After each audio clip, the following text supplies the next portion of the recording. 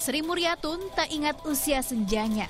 Di umurnya yang ke-51 tahun ini, warga desa Campur Sari, Temanggung ini ditangkap Reskrim Polres Kebumen karena nekat mengedarkan uang palsu pecahan 100 ribu senilai 10 juta. Dan lewat boneka-boneka inilah ia nekat mengelabui polisi.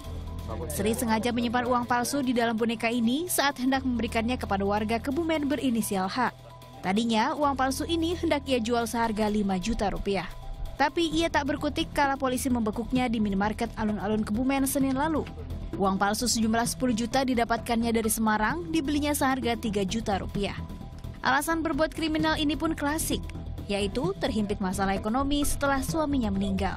Tahu kalau itu palsu? Bu? Tahu, Hmm, Dapatnya dari mana, Bu? dapatnya dari Semarang. awalnya bisa tergiur, kenapa bu? Bukan terkira ya saya kan cari nafkah buat anak ya. Ibu ini ambil keuntungan berapa ini, Bu? Ya kalau keuntungan ya 2 juta 2 juta ya.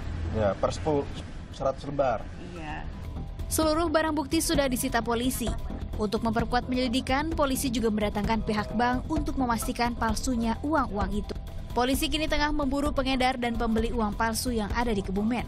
Ya, si tersangka ini sedang akan melakukan transaksi dengan seseorang yang memang ingin membeli eh, uang palsu ini dibawa ke tempat daerah lain.